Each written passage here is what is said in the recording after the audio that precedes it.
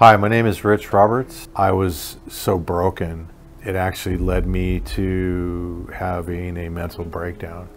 And I self admitted myself. My life was filled with um, violence, abuse, uh, drug abuse, alcohol abuse, sexual abuse, um, alcohol abuse, addiction, drug addiction, depression, suicide. None of the things that I had ever involved myself in brought me any peace, brought me any joy. After just being in a very dark place, I had uh, cried out to the Holy Spirit and I just said, you know, I know that you're real.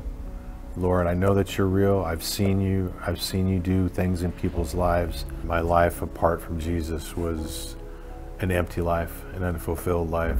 And I just started to plug myself in into ministry uh, every opportunity I had to just come to church and hear the word. Hearing the word of God in a way that I've never heard it before, talking about who we are in Christ, our identity and our authority that we have through Jesus Christ, that we have that you know we've been given the authority to preach, teach, to cast out devils, that we are uh, anointed and highly favored, that we've been given a spirit of power, love, and a sound mind. These were all things that even though I'd heard some of these scriptures before, I had never heard that message before.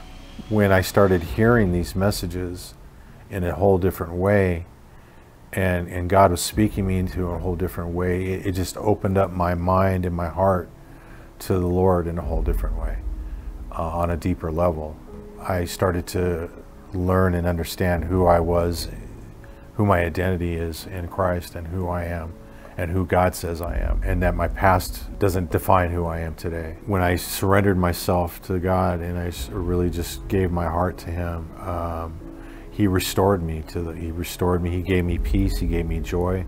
He gave me an identity that I'd been seeking through my whole life, always wanting to know that I knew I, I knew that I had a purpose and a, and a place in this world, but I've never understood what it was. And now today I know that I have a purpose and a plan in the kingdom of heaven. I'm called to preach the word of God and the good news of his promise to the world and to my family. God has given me peace and joy that I've never felt or experienced through anybody or anything.